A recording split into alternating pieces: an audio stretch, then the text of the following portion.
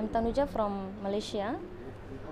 Um, what I've gone through after the NSP is uh, I felt uh, very light and I was in bliss because uh, before this I have so many unwanted, I mean like unnecessary desires, and now after the process, what Swamiji have given, uh, I easily can drop everything, and I feel very light by the grace of Swamiji.